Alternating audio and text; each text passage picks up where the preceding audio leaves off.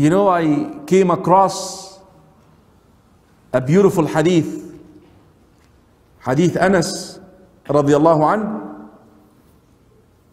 والحديث صحيح الرسول صلى الله عليه وسلم entered into a room of somebody who is dying, passing away. فقال له, he said to him, كيف تجدك? How are you doing? How do you feel?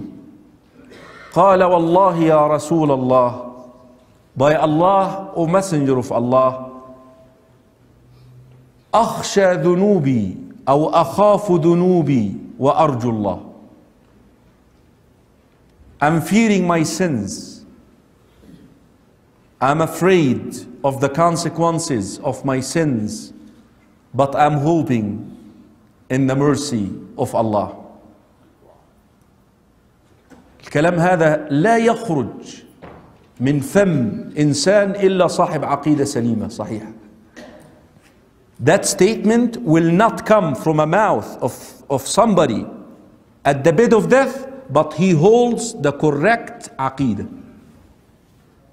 شوف كلامه أخشى ذنوبي أخاف ذنوبي I'm afraid of my sins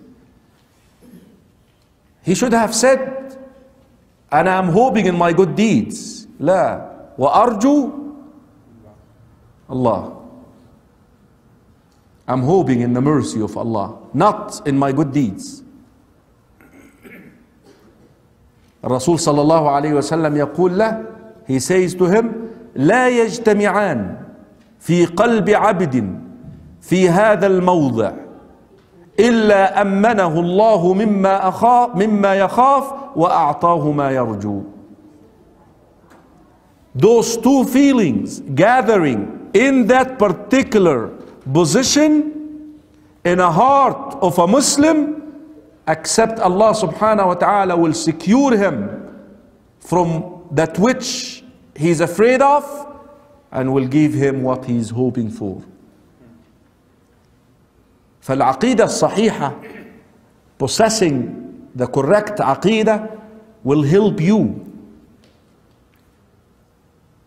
will help you when you're laying down in the bed of death and people asking you to say La ilaha illallah Muhammadur Rasulullah, you will say it.